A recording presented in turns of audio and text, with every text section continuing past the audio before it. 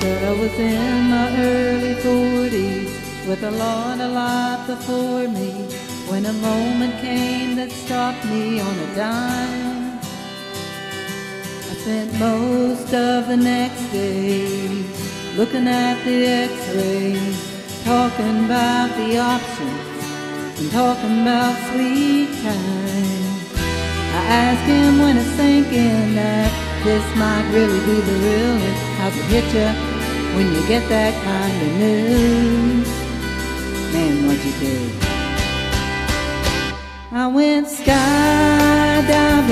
I went Rocky Mountain climbing, I went 2.7 seconds on a pool named Fu Manchu, and I loved deeper, and I spoke sweeter, and I gave forgiveness I didn't deny it.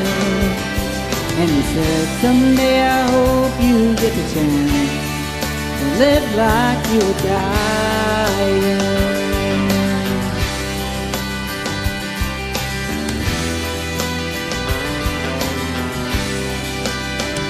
He said I was finally the husband, and most of the time I wasn't.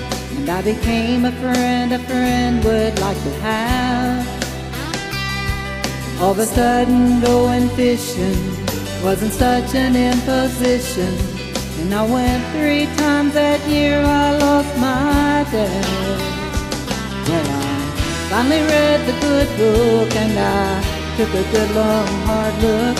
What I'd do if I could do it all again. And then I went skydiving,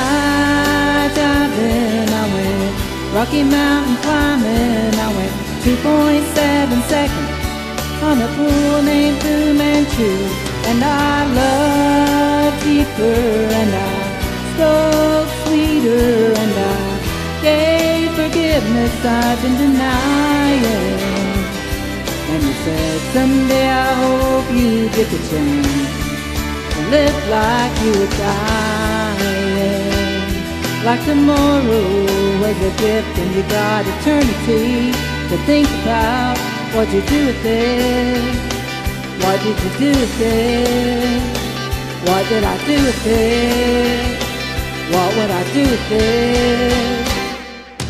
Skydiving, I went Rocky Mountain climbing, I went 2.7 seconds on a pool named Fu Manchu. Then I loved deeper and I spoke sweeter and I watched an eagle as it was flying.